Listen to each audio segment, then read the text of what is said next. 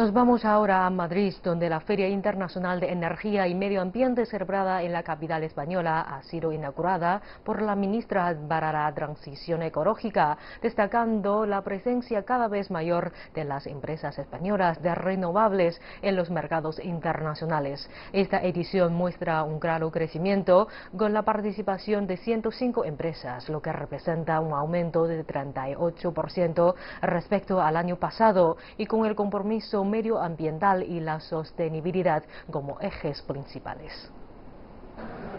La Feria Internacional de Energía y Medio Ambiente Genera 2018 ha presentado una interesante perspectiva de los avances tecnológicos que marcan la evolución del sector de las renovables a través de una oferta que reúne las últimas novedades en equipos y servicios relacionados con las distintas fuentes energéticas y la representación de los sectores de microgeneración, energía geotérmica, eficiencia eólica, hidráulica, biocarburante o biomasa, entre otras todo un contenido que pone especial foco en las soluciones encaminadas a incrementar la eficiencia energética y la sostenibilidad, con una presencia destacada de solar fotovoltaica, la energía que más ha contribuido al PIB con un 32,7%. En España es importante el aporte mm, por fuentes renovables, tanto por eólica como por fotovoltaica. También tenemos energía hidráulica, es decir, que en el mix energético español, bueno, pues hay una aportación importante de fuentes renovables y yo creo que España es una potencia industrial respecto de eólica y de fotovoltaica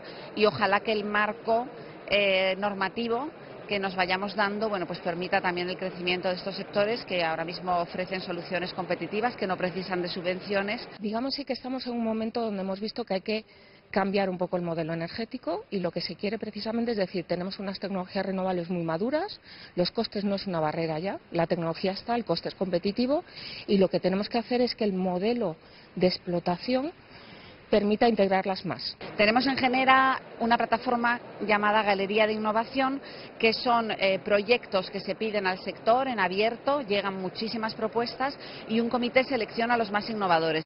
Son muchas las novedades del sector que se han presentado en General 2018. Entre ellas se encuentra el proyecto de OVNIC, una empresa chino-alemana especializada en investigación y desarrollo que muestra el inversor híbrido OVNIC Kite, un producto con máxima eficiencia fotovoltaica del 96%, que se caracteriza por la flexibilidad operativa y la supervisión inteligente, que funciona incluso sin la ayuda de una batería y dispone de comunicación a través de USB. El inversor híbrido fotovoltaico es la nueva generación de inversores, es lo más nuevo que vamos a vender en todo el mundo. Este inversor funciona con la conexión a red, pero si quieres puedes utilizar las baterías y usar la propia energía que vas a crear con el propio panel fotovoltaico, poner las baterías conectoras y utilizarlas, por ejemplo, cuando no tienes luz. Nos dedicamos solamente a eficiencia energética, ¿vale? Y el último proyecto que hemos hecho así importante ha sido convertir una sala de calderas de gasoil a gas. Y en esa misma planta lo que hemos hecho es montar una pequeña caldera que eh, a través de biomasa y quemamos pepitas de, aceituna, ¿vale? Y convertirlo, lo convertimos en energía y con eso calentamos el agua sanitaria. SolarBat es una empresa alemana que fabrica en Alemania y que centra, digamos, su actividad en la fabricación de módulos fotovoltaicos y baterías de ion litio. Este año presentamos la batería nueva de MyReserve, que es la batería más eficiente del mercado y la que mayor garantía de producción tiene. Las energías renovables generan alrededor de 75.000 puestos de trabajo en España, evitando además la emisión de 52 millones de toneladas de CO2.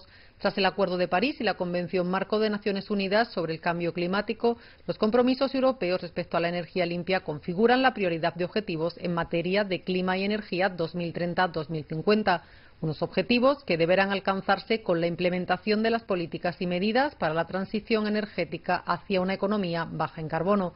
Las 22 jornadas técnicas que conforman el programa de Genera centrarán sus análisis en soluciones como el autoconsumo en la red o la descarbonización de los países a través del hidrógeno. Eh, las soluciones son indudablemente ir haciendo una transición energética de manera que vayamos sustituyendo combustibles fósiles, limitando los niveles de carbón y por tanto introduciendo pues energías renovables, aumentando la eficiencia energética. Esa transición energética lo que pretendemos precisamente es reducir las emisiones de CO2, reducir ese impacto en el cambio climático y mejorar también la calidad del aire. El hidrógeno es una de las soluciones para eso.